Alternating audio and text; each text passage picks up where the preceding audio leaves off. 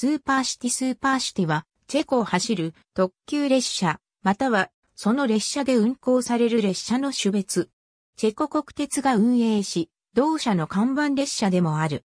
チェコ国鉄が山がちな国土であるチェコにおいて、高速新線を建設せず比較的低コストで、主要都市間の所要時間の短縮のために、イタリアのフィアット社製のペンドリーノを用いて、スーパーシティという列車名で2005年に運行を開始した。運行当初は、スーパーシティとしての運行は、プラハオストラバ間のみであったが、曲線通過速度の向上や加減速性能の向上により、この区間の所要時間を以前の約4時間から約3時間半に短縮した。この頃は初期故障に悩まされていたが、現在は安定しており、2006年には国外のウィーンやブラチスラバにも足を伸ばしている。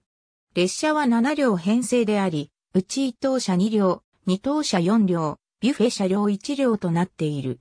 1.2等車両型とも3列シートとなっており、座席の色、1等車は赤系統、2等車は青系統以外に設備面での大きな違いはない。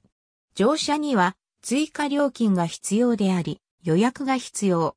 営業運転開始前の2004年11月18日には、試運転で時速 237km の記録をマークしている。これは2007年現在、チェコの鉄道としては、史上最高の速度記録である。